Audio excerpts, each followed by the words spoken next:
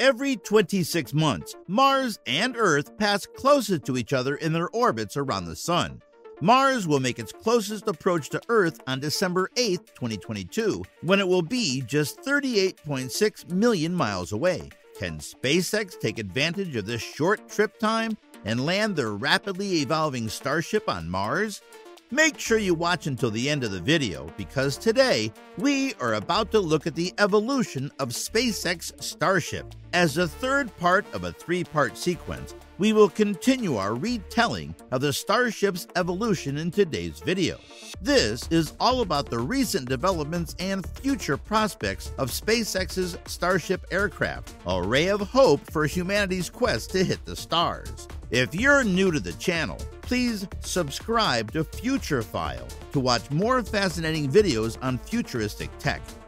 Now, let's get right into today's video. We ended the previous segment of the video with the launch of the Starship prototype SN8, which successfully completed its first high altitude test flight but landed a little too hot and exploded. Despite the fact that it exploded, this was considered a huge achievement. Founded by Elon Musk in 2002, SpaceX has gained international recognition for a series of historic achievements in its 19 years of operation.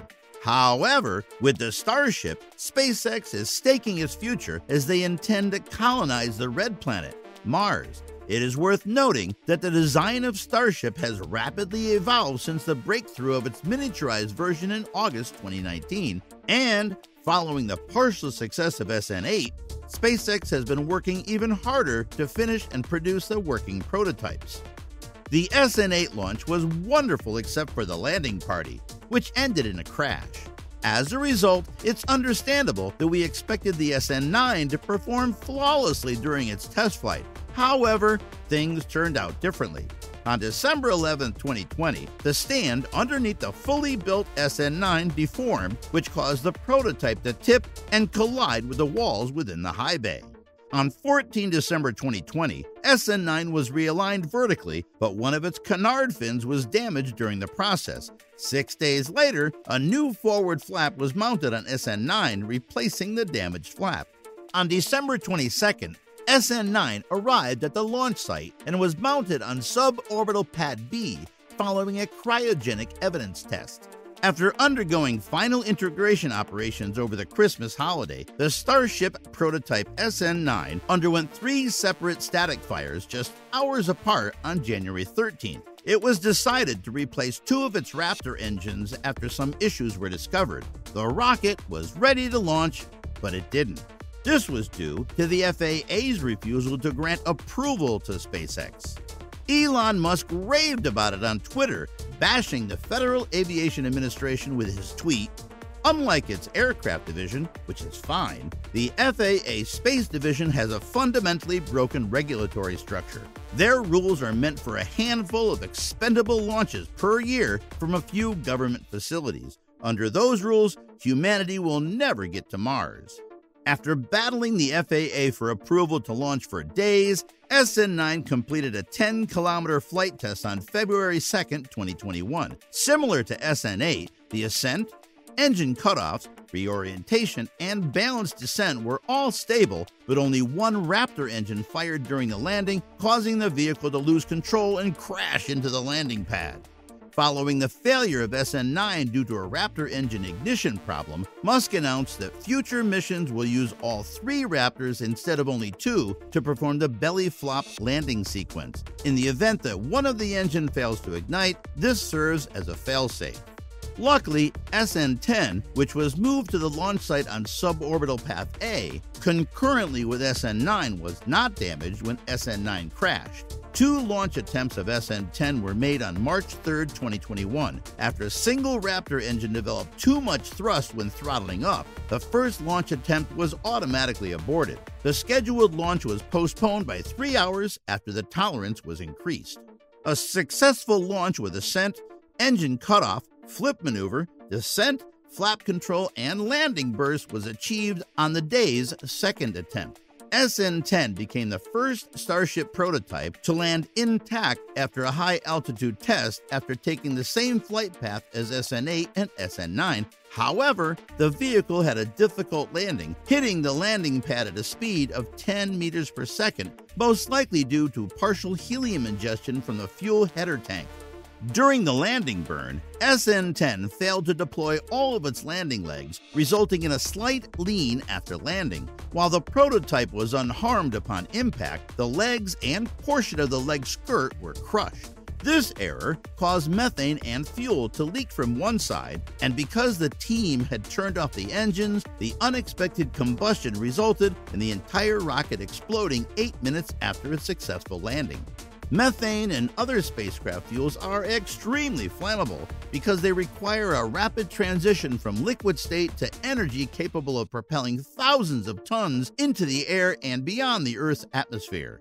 It is likely that the methane was sparked by the engine's dying sparks or even its heat as it prepared to cool down.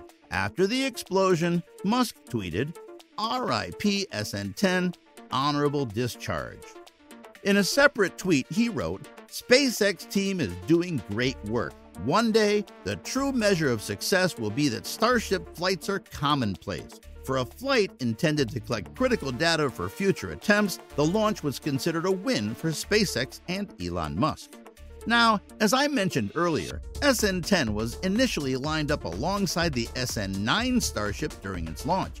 However, unlike the launch of the SN 8 and SN 9 Starships, there was no readily accessible next in line spacecraft for SpaceX to test and fly soon. Several days after the explosion of SN 10 on March 8, 2021, SN 11 was moved to suborbital Pad B to begin its testing campaign. SN 11 successfully underwent static fire test and cryogenic proof test, including the testing of the reaction control system, also known as RCS. On March 30, 2021, a 10 kilometer high altitude flight test was performed in heavy fog. Engine cutoffs, flip maneuvers, flap control, and descent were all effective during the flight, but according to Elon Musk, one of the Raptor engines had problems during ascent and did not reach operating chamber pressure. SN 11 lost telemetry and disintegrated shortly after the landing burn began. Soon after the failure, SN 11 was seen visually striking the ground in several sections. Many people could not tell what went wrong, as the live stream they were witnessing had frozen and only resumed by the time SN 11 had crashed into the launch pad. However, a separate live stream from NASA's spaceflight captured the action in the final moments, including a loud blast that ripped the launch pad apart. Pieces of debris started to fall from the sky, including one that appeared to strike the camera itself, which was stationed about a kilometer away. After the explosion, Musk tweeted, Looks like Engine 2 had issues in ascent and didn't reach operating chamber pressure during landing burn, but in theory, it wasn't needed. Something significant happened shortly after landing burn starts. Should know what it was once we examine the bits later today. He followed it up with a humorous tweet saying, At least the crater is in the right place. SN 11 is the fourth major Starship flight test to end in such a manner, but it is the first to end in a mid flight explosion, which is even more concerning.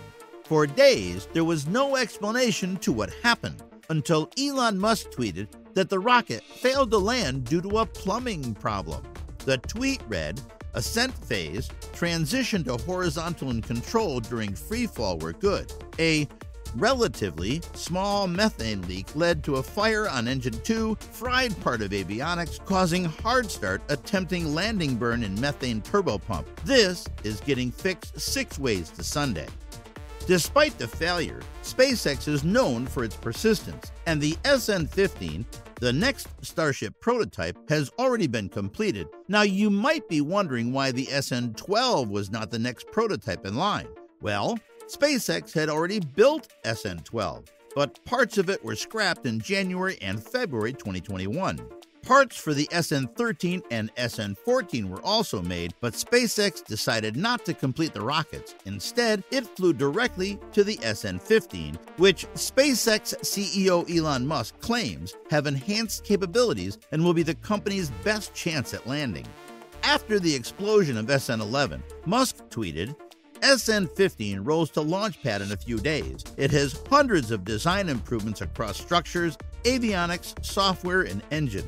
Hopefully, one of these improvements covers the problem. If not, then retrofit will add a few more days. On 8 April 2021, SN 15 was moved to the launch site. As of now, SN 15 has successfully completed the ambient temperature pressure test and cryogenic proof test. Raptor engines are also being fitted to the Starship prototype SN 15. The next big flight test of Elon Musk's Mars bound Starship SN 15 will probably take place next week. Elon Musk's tweet read, aiming to launch next week. Musk envisions a fleet of 1,000 starships departing for Mars every 26 months when the stars align favorably for interplanetary missions between Earth and the Red Planet. According to Musk, the Starship is strong enough to blast itself off the surface of the Moon and Mars, both of which have much weaker gravitational pulls than Earth. If all goes according to SpaceX's plan, such flights would eventually aid in the establishment of a million person city on Mars. If you like this video, you may also enjoy this next video on part 1 and part 2 of this Starship Evolution series that is shown in the end screen. See you there!